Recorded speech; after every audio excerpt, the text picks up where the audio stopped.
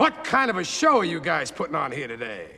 I mean, the only class in this act is sitting next to me, and I'm here to tell you this boy's soul is intact. It's non negotiable. You know how I know? Someone here, and I'm not gonna say who, offered to buy it.